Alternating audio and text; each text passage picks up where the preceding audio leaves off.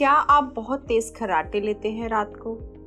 क्या आपको दिन में सुस्ती रहती है, नींद आती है?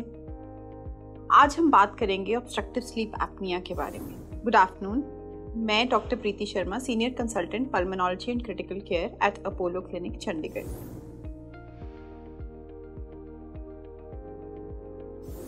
Obstructive sleep apnoea क्या है?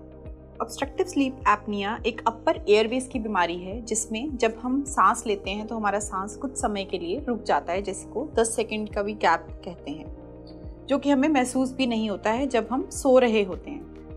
जब भी हम सोते हैं तो हमारे अपर एयरवेज की मसल्स रिलैक्स्ड रहती हैं तो लेटने के वक्त अगर कुछ भी वजह से यहाँ कुछ ब्लॉकेज है जिससे टंग फॉल हो जाता है तो हमें खराटे आते हैं, जो कि लोग कहते हैं कि नॉर्मली हर किसी को ही खराटे आते हैं तो इसमें क्या बुराई है?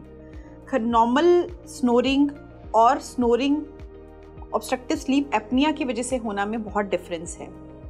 तो ये हम कैसे पता लगा सकते हैं? स्लीप एपनिया हमने बात की कि स्लीप एपनिया एक एपनिया है मतलब कि कुछ देर के लिए सांस का रुकना, जिस टाइम के लिए आपकी बॉडी में ऑक्सीजन फ्लो भी कम हो जाता है, जो कि सारी ऑर्गन्स को सप्लाई जाता है। तो इसको हम स्लीप एपनिया कहते हैं। इसको हम दो तरीकों में डिवाइड करते हैं, जिसको हम कहते हैं एक सेंट्रल स्लीप एपनिया और एक है obstructive sleep apnoea central sleep apnoea में ब्रेन सिग्नल ही नहीं देता है ब्रीदिंग के लिए, जो कि न्यूरोलॉजिकल लीजन्स के साथ एसोसिएटेड है। लेकिन ऑब्स्ट्रक्टिव स्लीप एपनिया में एक ऑब्स्ट्रक्शन है, जो कि सांस लेने के समय हमें दिक्कत हो रही है। तो इसके रिस्क फैक्टर्स क्या हैं? ये ज़्यादातर मेल्स में पाया जाता है। अबव 40 इयर्स ऑफ़ एज में ज़्यादा कॉमन है। मोस्ट इंपॉर्टेंट ओवरवेट या ओबेसिटी की वजह से है। हमारा जो नेक सरकमफ्रेंस है, अगर हम इसको मापे तो अगर मेल्स में 17 इंच से ज़्यादा है या फिर फीमेल्स में 15 इंच से ज़्यादा है तो हमें बहुत ज़्यादा चांसेस हैं ऑब्स्ट्रक्टिव स्लीप एपनिया होने के। और बहुत सारे फैक्टर्स हैं, जैसे कि कोई क्रेनियोफेशियल डिफॉर्मिटीज़ हैं, आपकी टंग बहुत बड़ी है या फिर नोज़ और एयरवे आगे वाला छोटा है तो जब भी आप लेटेंगे तो ये एयरवे आपका ब्लॉक हो जाएगा, जिसकी वजह से आपको सांस नहीं आएगा। इसके अलावा कुछ और फैक्टर्स मेडिकली भी हो सकते हैं अगर आपको अंडरलाइन डायबिटीज़ है हाइपरटेंशन है ये भी इसमें ज़्यादा चांसेस हो जाते हैं ऑब्स्ट्रक्टिव स्लीप एपनिया होने के। सो so, इसके सिम्टम्स क्या हैं? हमें कैसे पता चलेगा कि हमें ऑब्स्ट्रक्टिव स्लीप एपनिया है?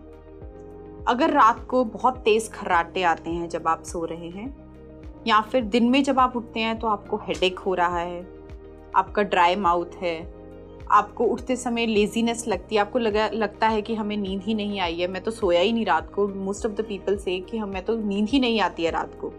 दिन में आपको थकावट रहती है कंसंट्रेशन नहीं बनती है, काम में अच्छे से मन नहीं लगता है, या फिर कई लोगों को चोकिंग स्पेल्स भी होते हैं, जो कि दूसरा बंदा जो उनके साथ सो रहा है बता पाता है कि आप एकदम से उठते हैं रात को और आपको लगता है कि किसी ने आपका गला दबा दिया हो।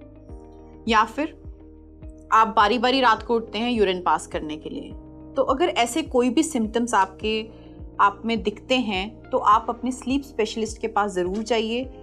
उसके लिए ओएसए के लिए आप स्क्रीनिंग करवाइए, जिसके लिए हम आगे डायग्नोसिस के लिए अलग अलग टेस्ट करते हैं। तो जिससे हमें पता चल सकता है कि आपको ऑब्स्ट्रक्टिव स्लीप एपनिया है या नहीं है, और इसका आगे इलाज करवाइए। धन्यवाद।